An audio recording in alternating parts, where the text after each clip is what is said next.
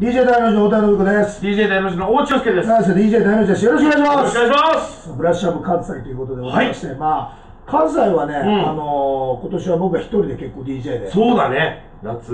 もうドリカムさんのフェス3万5千人。ええいやすごいですよ。サマソニの大阪めちゃめちゃ人集まるんです。よー、すげでやっぱわか思ったんですけどやっぱうん。関西の方々楽しさとか、うん。楽しみ方を知ったらもうすごいね。はあ。そこまでが結構大変だったですよね 割と。あなるほどね。だから結構あの東う京ん。の子から来たってこと言いません。うん。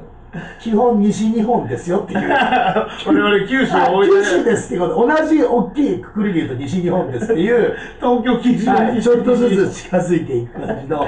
徐々に心開いてもらおうと。これやっぱねその大津さんがね入るとね、ちょっとねなんかこうエセ関西弁とか使うでしょ。あれやめてくださいね。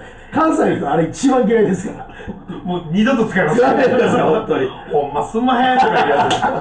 あれがダメなんですよ。あなた奥さんと結婚する前ずっと関西弁でしたからね。嘘ついてまあそういうわけでございまして関西の新しいフェス、まあ、しかもうん。季節的に言います11月っていうはい。なかなかない感じで野外でやるっていうことなので、うん。非常に楽しみですけど、まあ、だからこその,、あの盛り上がりというか熱気というかそれをお客様と一緒にみんなで作るようなはい。フェスになるといいなと思っております、うん。えーまああの軽くねうん。軽く伝説作ってやろうと思ってますのであのぜひあの気軽な気持ちで遊びに来てくださいませ。お願いします。DJ 大の字でございました。じゃあ最後はベスト10時代のマッチで。